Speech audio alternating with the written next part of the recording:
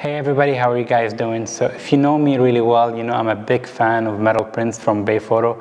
In fact, all the pictures in my gallery here are printed on metal prints and the people that come to the gallery, they seem to really enjoy looking at the pictures and really appreciate the quality of them. And today I have something kind of unique I wanted to unbox with you. I haven't seen what this looks like yet. It's another metal photo, but they have a new product now, a new finish. It's called the textured finish. It's different from the glossy, mid-gloss or satin finish. This is more like it kind of resembles canvas or fine art. So it does have the same kind of protective qualities of metal prints, but with that matted kind of textured fine art look to the image. So I'm kind of curious to see how it looks. I've ordered a picture that usually it's not a landscape, but I think for landscapes with a lot of detail, this kind of printing would work really well if you want to showcase kind of like a canvas style texture to the image, to the print. So I think this would work really, really well. But the picture I ordered was actually a wildlife picture that I took in Banff National Park. And I'm excited because, you know, the fur of the animal, how it's going to show in the print. I'm excited to see how it looks. And I'm going to go over in general some of the features of the print that come kind of common among all metal prints from Bay Photo. But mainly I'm going to focus on how it looks as a textured fine art print. So I'm curious to see how that looks. I'm just gonna unbox it right now. I haven't really opened it yet and I'm kind of curious to see how that looks. So just bear with me while I get this open. It's gonna be a bit of a messy part. I'm just gonna take it out of the box here. I'm just gonna put that aside. So here we go, it's still in the plastic. I should probably get it out of the plastic cover. But it's always exciting when you order a new print you've never seen before, just the moment you're about to see it. It's, for me, it's always exciting. Can't wait to flip this over and see how it looks. Hopefully it turned out really, really nice.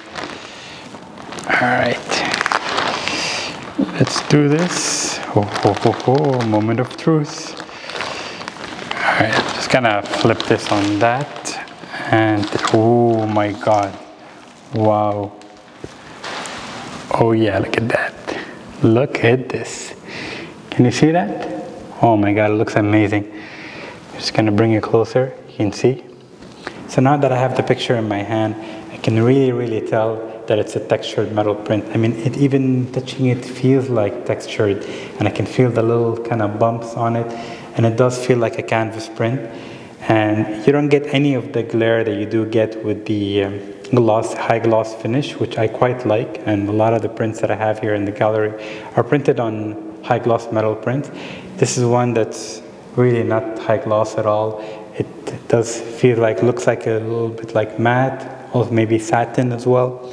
So, but what I like about it the most is that this printing this kind of method, you do get the texture and the canvas feel and kind of the fine art feel, which I think would work really well with wildlife or landscape photo where you have a lot of detail you want to showcase by usually the pictures that you would print on fine art matte paper, this kind of would be the equivalent in my opinion.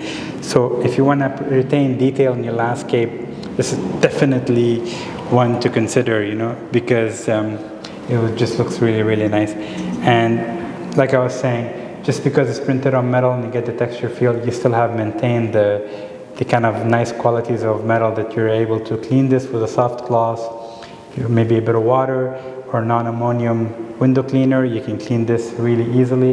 And this is actually, from what I learned, that these prints are actually you know, resistant to fingerprints. You can actually touch it, doesn't leave a streak on it. So it's quite nice having this quality and this protection for your prints while maintaining, you know, the, the look of the texture and the fine art look to it, you know. So I quite like that a lot. And on the back, as you can see, it comes with the float mount system. You can see that sits kind of half inch off the, the back of the print and you can easily hang it on your wall.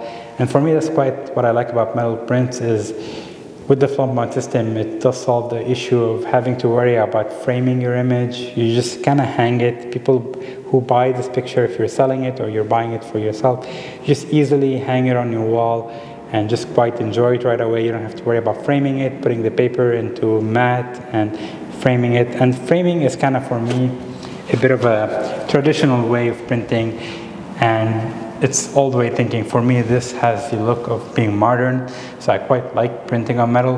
And I do see myself in the future definitely ordering more prints for the gallery with this finish indeed, because I quite like how it makes the, the texture of the, of the picture really look really, really nice. And I think they hit a home run. I think they're going to do really well with this product.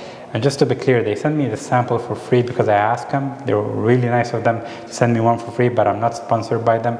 I would have bought this picture for myself, you know, if they if they had said no, because I I was really curious when they came out with the textured metal print to really see what it does, and I'm quite happy with the the results. I think they have a home run here, and I think they're going to do really well with this kind of uh, print. And the uh, only thing left to do is probably hang this picture up on the wall and just kind of see what people think of it and see if they enjoy it, people who come to the gallery. So yeah, if you have any questions, happy to answer them. I love questions, so leave me a comment and I'll get to it right away, you know.